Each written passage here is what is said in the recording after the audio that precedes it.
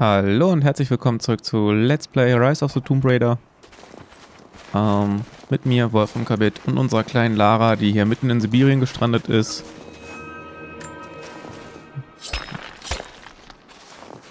Und jetzt eigentlich ums Überleben kämpft, was sich La bei Lara darin äußert, dass sie Münzverstecke von irgendwelchen früheren Karawanen oder Beutezügen aufsucht da sieht man schon die Schwerpunkte beim Überleben. Na, Spaß. Ist schon ein cooles Game. Also mir hat gerade am Anfang halt auch diese, diese Quicktime ohne Ende Kletterpartie tierisch Spaß gemacht, auch wenn ich mich erstmal dran gewöhnen musste. Aber ist für mich jetzt mal seit langem mal wieder was komplett Neues. Ne, drück mal, drücken wir mal C hier, ist ja für bergab. So. Da haben jetzt noch mehr Münzen. Dann sollte es das doch... Ne, da hinten ist noch was. Ganz schön viel, was die hier versteckt haben. Ne, okay, jetzt kommen wir da nicht mal hoch, müssen den anderen Weg gehen. Alles klar. Oh, hier gibt es noch Holz. Aus den dreieinhalb Besten macht sie sich dann wieder Pfeile. Ah, hier ist unser Lagerfeuer.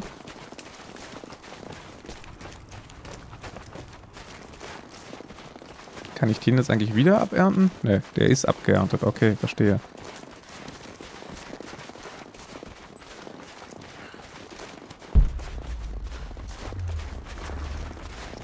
ist ja genauso wie ich äh, Gevatter Bambi hier gekillt habe.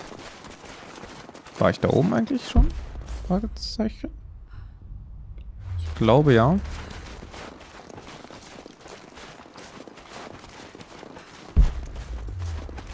Da ist noch ein Bambi, aber war ich hier nicht ganz am Anfang und habe hier nichts gefunden?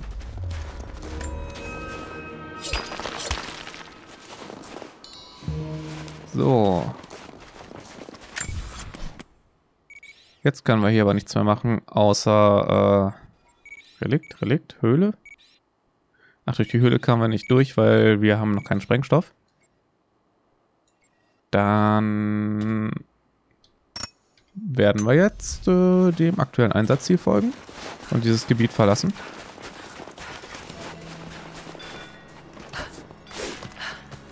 Auch interessant, wie sie sich da gerade drum geklammert hat. Tiefschnee. Tiefschnee verlangsamt äh, Lara und behindert ihre Aktion. Genau. Oder einige. Erkundungsteam, hier Overwatch. Bitte kommen. Wo ist der Bär?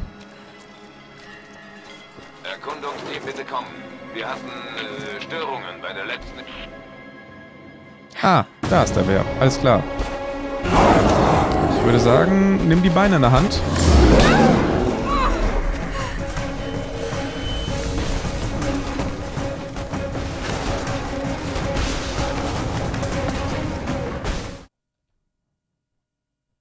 Und da ist mir der Rechner abgeschmiert. Das ist gut. Aber warum? Wow. Ja, super Einstieg. Ähm,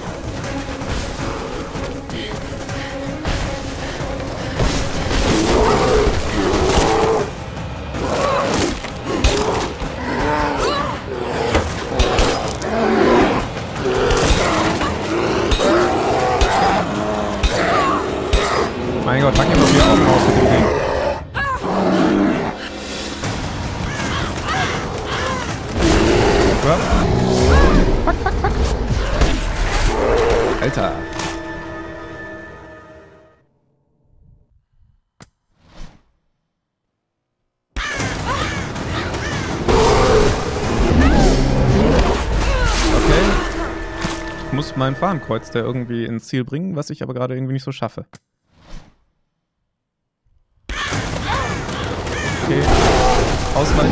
Oh nee, verdammte Axt. Das ist ja auch toll, ne? In der letzten Aufnahme ist mir der PC hier vorher abgeschmiert und jetzt werde ich ja quasi äh, ins kalte Wasser geworfen und bis sofort auf 100% Adrenalin und Ausweichen und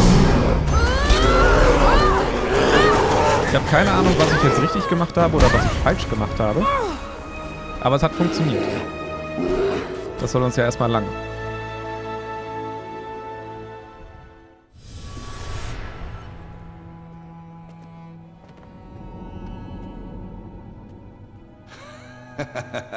Lara, du hast wohl mal wieder die Tür nicht gefunden. Aber so geht's doch viel schneller, Dad. Komm her, du kleines Äffchen. Gehst du jetzt wieder auf ein Abenteuer, Dad? Ja, mein größtes bisher. Also ich finde, ich wäre die perfekte Assistentin. Oh, wirklich? Und es gibt niemanden, den ich lieber dabei hätte. Aber diese Sache ist zu gefährlich. Lara, hör mir zu. Eines Tages wirst du in dieser Welt große Spuren hinterlassen. Du wirst mich so stolz machen. Einen Moment, Schätzchen, ich muss daran gehen.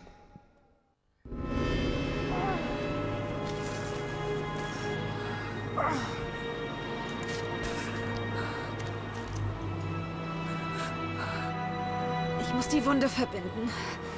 Dann tun wir das doch. Da wären wir wieder bei meiner Theorie, dass Lara, Diese Blätter sollten die Blutung stillen. dass Lara irgendwann aussieht wie eine Mumie, umso länger man Tomb Raider, Tomb Raider Ich spielt. brauche einen Verband.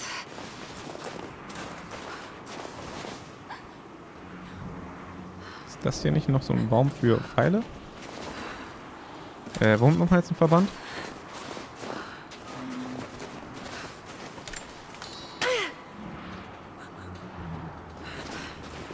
Nein, damit nicht. Damit machen wir Pfeile. Äh. Überlebensguide. Handwerk, Federn, Kampf. Überleben, Jagd, Überlebensinstinkte, Fortschrittsanzeige, Archivkarte, Monolithe, Wandgemälde. Nee. Kräuter.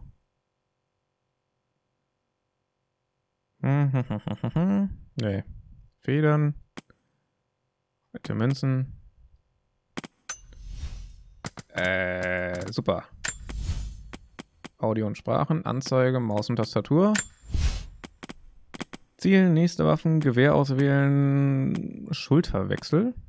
Okay, nur für Multiplayer. Heilen, V.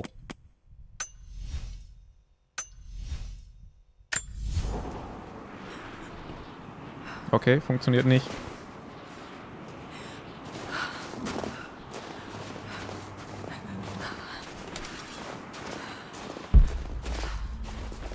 Hm. Warum kann ich mich jetzt nicht heilen? Ich drücke die ganze Zeit V.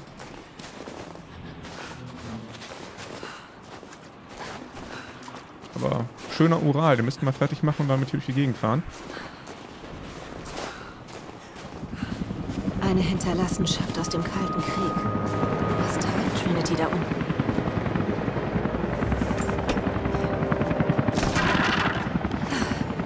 Müsste reichen. Ach so, ich habe das noch die Kiste gebraucht. Verstehe. Mehr mongolische Ruinen. Der Weg scheint ganz hindurch zu führen. Ich muss an den Bären vorbei. Jo. Hauptsache noch die schöne Sowjetflagge hier mit Hammer und Sichel. Sehr schön. Würde natürlich auch äh, den Ural erklären, was ja bis heute immer noch ein, ein russischer Militär-LKW ist. Sind unkaputtbar die Teile, allerdings auch nicht sonderlich technisch kompliziert, also Steinzeittechnik, aber deswegen sind die auch so robust. Aber beim Militär ist es auch egal, ob das Ding jetzt 100 oder 200 PS hat, Hauptsache es kommt vorwärts und der Motor läuft auch noch nach 5 Treffern.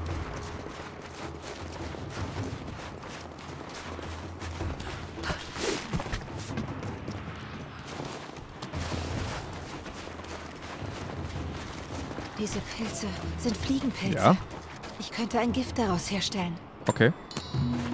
Das heißt, wir sammeln jetzt wahrscheinlich Fliegenpilze und machen uns einen... Komme ich da hoch? Ey, komm schon. Sieht das aus, als, wollte man noch, als sollte man noch hochklettern. Klettern wir eben hier. Ähm, dann sammeln wir jetzt wohl Fliegenpilze und werden uns da wohl einen vergifteten Pfeil oder sowas machen. Oder, ähm... Hm? Zum Ergreifen des Seils? Welches? Ach, da.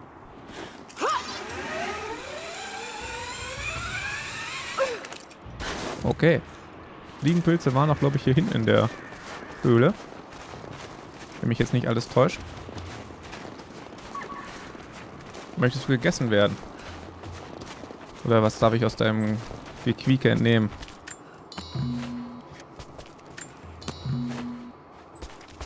Waren hier nicht noch mehr Fliegenpilze?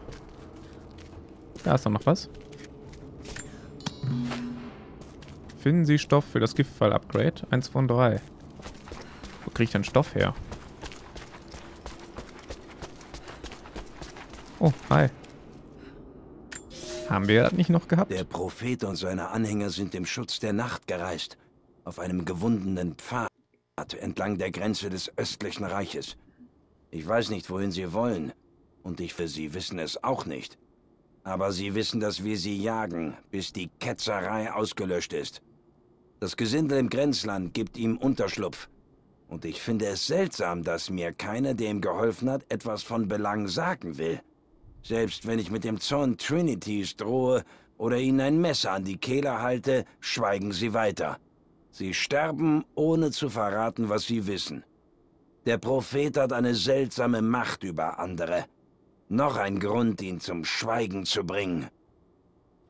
Gut. Aber die Leiche hier, die hat doch Klamotten, da kriegen wir doch Stoff her. Ich meine, die hat sogar einen Bergarbeiterhelm. Hm. Oh, Erz. Habe ich das hier nicht abgebaut gehabt? Hm. Komisch, komisch, komisch. Oder spawnt das nach?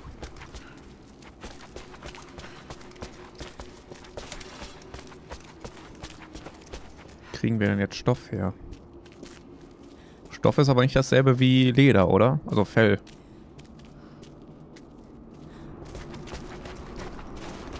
Sagt die Karte. Ein Dokument. Okay.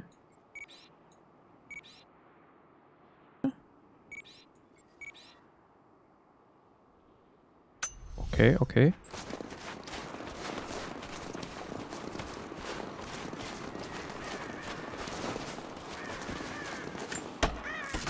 Damit soll...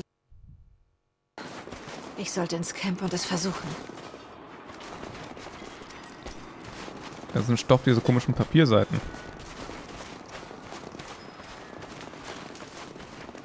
Kann ich hier jetzt noch irgendwas machen? Nee, aber hier ist noch...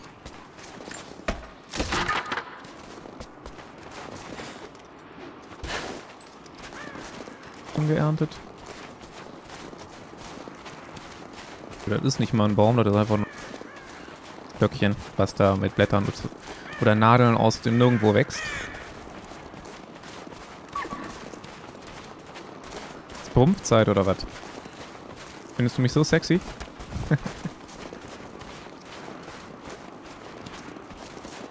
Aber dich kann ich abernten.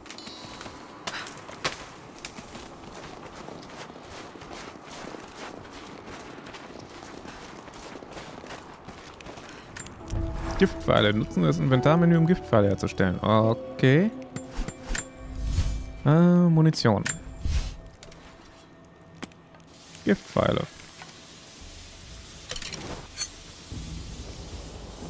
Okay. Mehr als zwei können wir wohl nicht.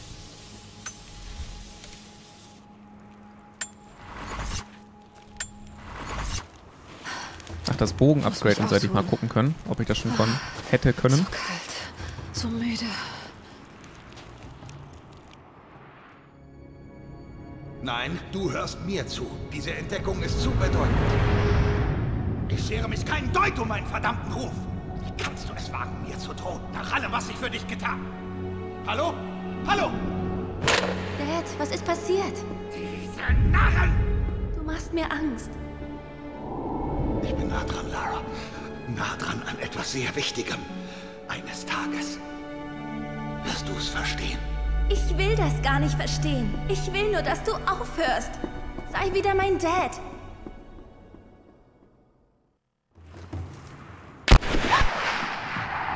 Ich wäre ein Mensch, ich würde einfach weiter pennen.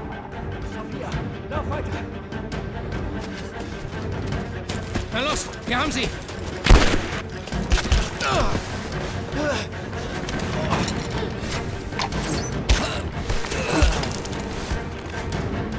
Weiter! Los! Vor allem, er hat das Jagdgewehr in der Hand, ne? Sie steht vor ihm ohne Munition. Ich würde auch erst auf das schießen, was sich nicht mehr bewegen kann, ne? Anstatt auf das, was noch eventuell fliehen kann. Schnappt sie euch! Ah. Statisten. Unglaublich lächerlich.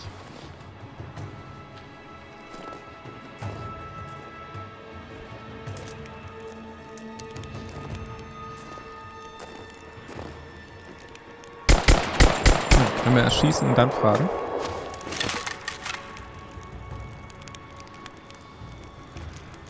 Aber lustig, wie sie es aus Zweigen und äh, Ästen halt so ein Iglo gebaut hat.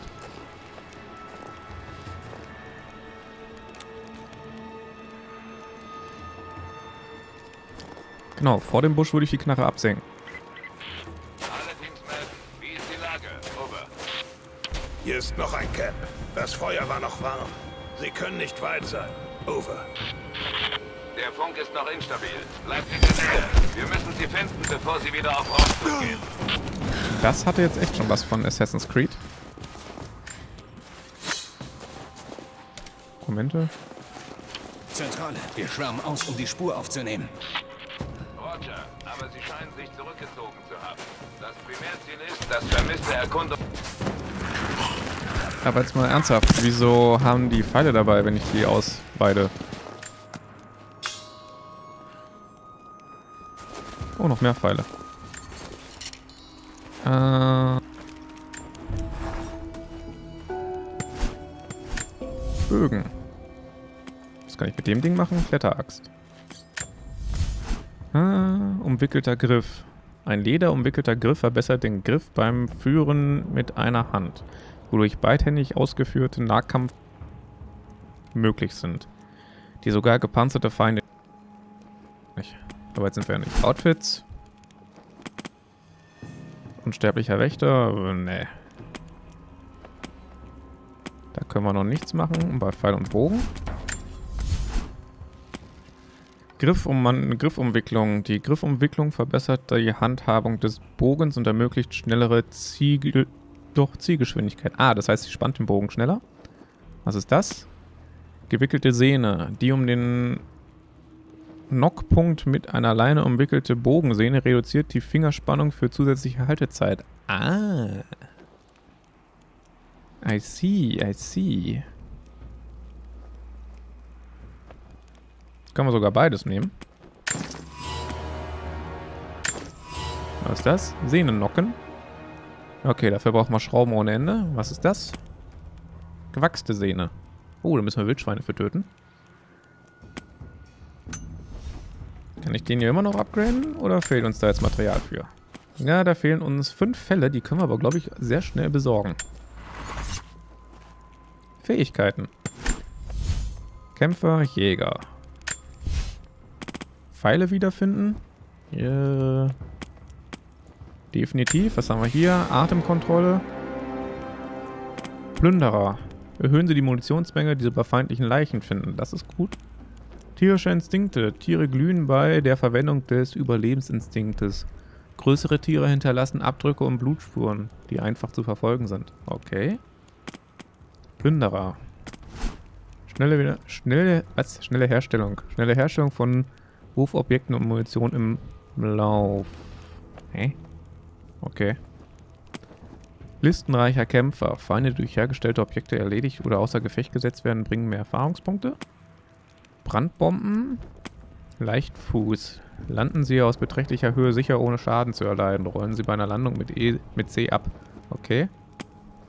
Eifriger Lehrer. Erhalten Sie Bonus-AP durch Überlebensverstecke, Dokumente, Relikte und Herausforderungen.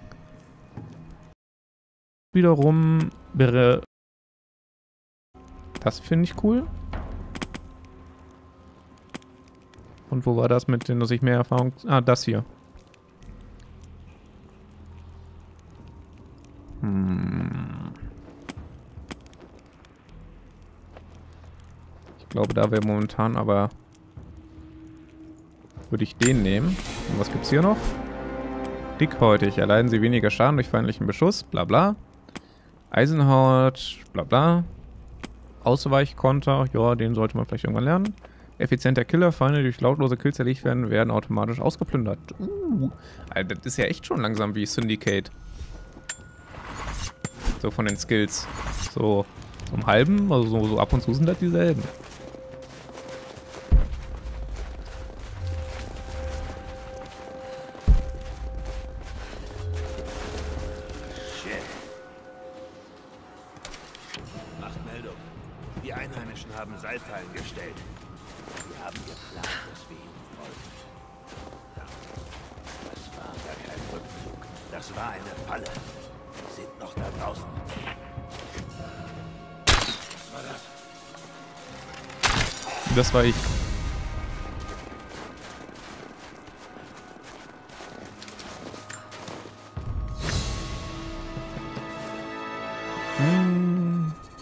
Gut, kriege ich aus dem Typen noch irgendwas raus? Eher nicht.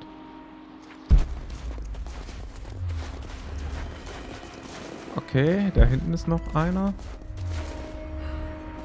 Verstecken wir uns erstmal hier. Da hinten kraxelt auch einer rum.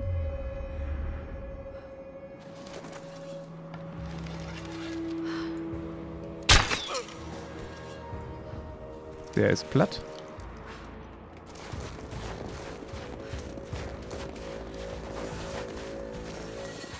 Dich ans Funkgerät, versuch die Anlage reinzukriegen. Beim letzten Signal wurden sie angegriffen, dann kam nichts Okay. mehr. Das war kurz nachdem uns die Einheimischen bei den Ruinen erwischt haben. Dann kam ihr Rückzug von der Anlage. Ja, Es war eine organisierte... Sie haben Feindkontakt! So, die beiden hätten wir dann auch. Den Kollegen kriegen wir auch noch. Gut. Damit hätten wir jetzt alles erledigt, glaube ich, hier vorerst. Und damit verende... Ach, verende, genau. Ich verende jetzt hiermit die Folge. Nein, ich beende hiermit die Folge und ähm, wünsche euch noch einen schönen Tag und hoffe, wir sehen uns morgen wieder beim Survivalen, Töten, Metzeln, Sammeln, Craften. Äh, bis dann, euer Wolfenkabit. Ciao, ciao.